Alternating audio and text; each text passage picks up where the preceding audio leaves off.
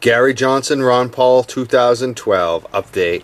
Uh, had a friend call me today about uh, a couple phone calls that he made. One was to the Libertarian Party, uh, the executive director, Carla, Carla Howell, who uh, I actually know pretty well. She's uh, spoken at the Boston Freedom Rally several times. She's a Massachusetts, uh, a Massachusetts resident, and she's worked on a, a lot of public uh, public initiatives here in Massachusetts, so she's well known.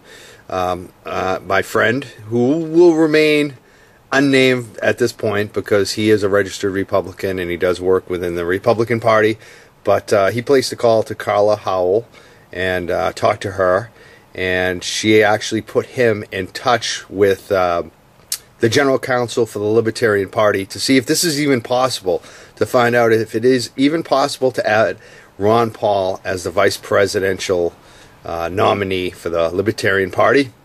And apparently, it is possible to add him uh, to the ballot, and, and most of the most of the 50 states that the Libertarian Party is on, Massachusetts turns out to be one of the only states that uh, will probably have some issues, and it would still have to be Gary Johnson, Judge Jim Gray, um, but there is a possibility. So, basically, what we need everyone to do tomorrow is to call Ron Paul's Washington, D.C. office at 202 225 2831 and his uh, Lake Jackson, Texas office at, two, uh, at 979 285 0231.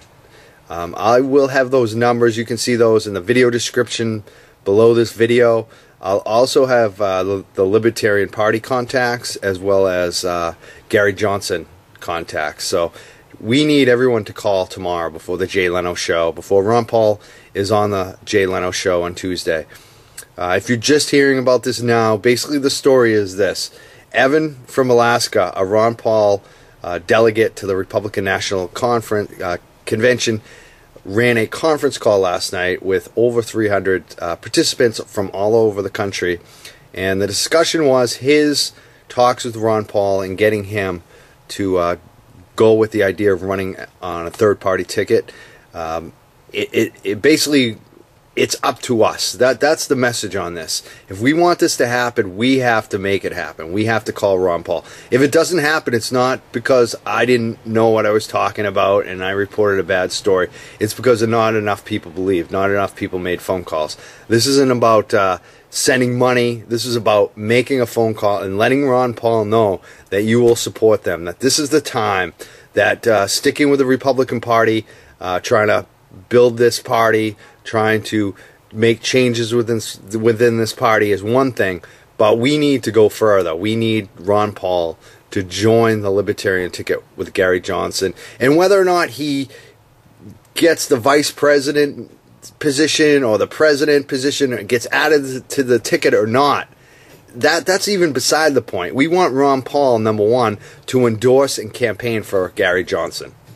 And if it's possible, if Gary Johnson and Judge Jim Gray are open to having Ron Paul on the ticket, we want Ron Paul to accept it. We want Ron Paul to make the phone call to say, I am interested in supporting you folks. I want to campaign for you. I will join the ticket if you need me. That's what we're asking everyone to do tomorrow, which is Tuesday. I want, I, you know, I know that uh, right now Ron Paul's voicemail is all filled up. So today's probably not the best day. It's a holiday. Tomorrow's the day. Tuesday. We need everybody to call Ron Paul. Tuesday, Tuesday, Tuesday. Let's make this happen. We can do this. I know we can. Do not give up. Don't don't don't give in to uh, the cynical people on the internet that say that this can't happen. That uh,